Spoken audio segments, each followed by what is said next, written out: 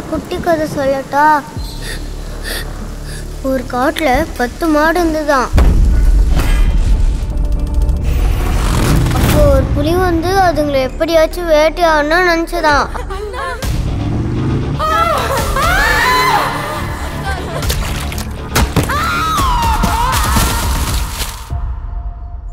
இது அதில் எழுதியிருக்கேன். இது யார்கிட்டயாச்சும் கொடுத்து படிப்பீங்களா? இது ரகசியம். யார்கிட்டயும் கொடுக்க மாட்டேன். அப்போ இதுல தான் இருக்குது. அஹ், அப்ப படி. ரவுடின்னா தேங்காய் பத்தியும் வாங்கணும். வாயிலையும் வயிற்றுலையும் பிளேட்லையும் பெத்த வாங்கணும். நிறைய பிளேட் வாங்கியிருப்பாப்ல இந்த வாய் ஃபுல்லா என்னடா இவ்வளோ மட்டமா அடிக்கிறானுங்க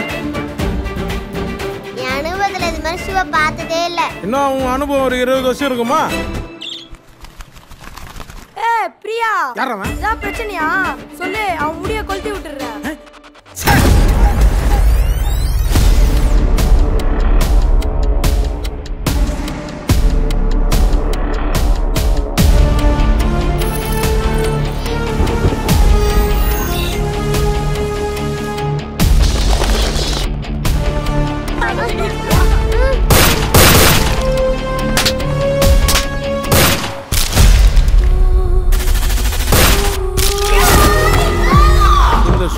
உயிர் மாதிரி.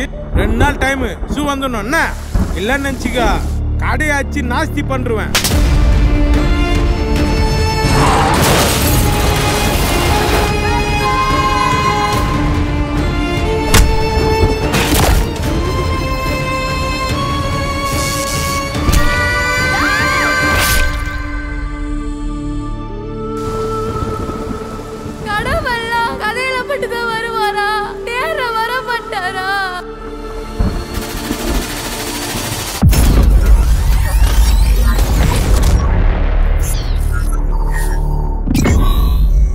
நடந்ததெல்லாம் அப்படியே ஏற்கனவே நடந்த மாதிரியே இருக்குடா.